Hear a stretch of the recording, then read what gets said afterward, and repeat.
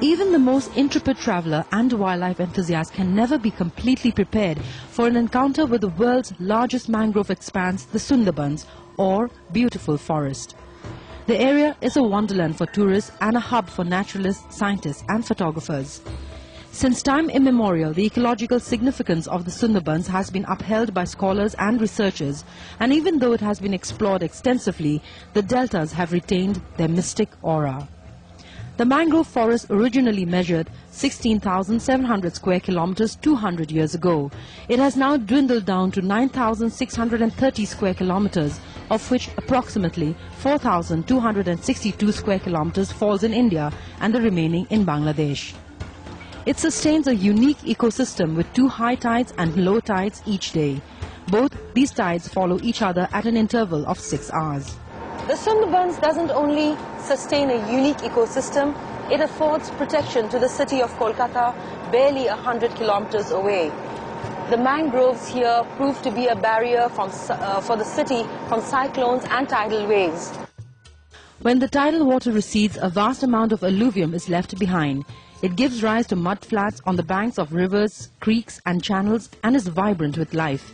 The mud flats are a feasting ground for birds and a variety of crabs such as the mud crabs, the tree crabs and swimming crabs. At high tide, the mangrove appears to rest on the surface of water, but with the ebbing tide, the shiny black mud banks get exposed, showing the fantastic tangle of stilt roots. These roots are important aerating organs for the roots buried in the mud. The inherent feature of mangrove flora species is that it sustains itself in saline water conditions. Its root systems are aerated with numerous lenticels along with stilt roots and pneumatophores. Glassy, leathery, dark evergreen leaves minimize transpiration. Another unique adaptation of mangrove species is a process known as viviparous germination.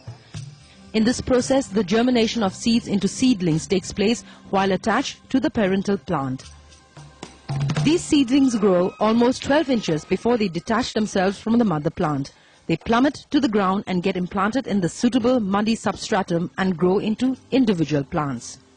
Of the 102 islands that comprise the Sundarbans in this area, 54 of them are inhabited by over 4 million people. But this area now faces its greatest challenge of rising seawater levels and climatic change. The Sundarbans is intersected by a complex network of tidal waterways and mudflats. These rivers and creeks are the meeting place of salt water and fresh water and the region of transition between fresh waters of the river originating from the Ganges and the saline waters of the Bay of Bengal. But due to the rise in the level of riverbeds and siltation in the upper streams of the Ganges, the rivers and tributaries that flow into the Indian Sundarbans carry more silt in water compared to the Bangladesh Sundarbans. As a result, more saline waters enters the Indian Sundarbans that is having a threatening impact on the mangrove communities. Its terrain is difficult and hostile, but its unique ecosystem provides extensive habitat for wildlife.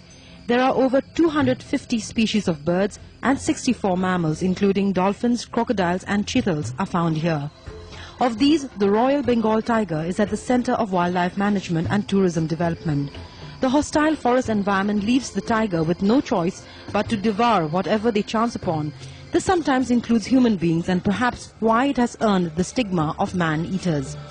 To cope with the riverine and tidal conditions of the Sundarbans, it has learned to swim. Tigers can often be seen swimming rivers as wide as one kilometer. The Sundarbans ranks as amongst the first nine wildlife reserves of India and was brought under Project Tiger in 1973. The census of 2004 indicates that there are at least 270 tigers in the Indian Sundarbans.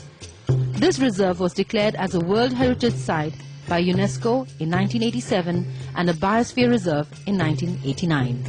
If we want the largest mangrove and one of the world's largest carbon bank to be included in the list of the seven wonders of India, give your vote for the Sundarbans.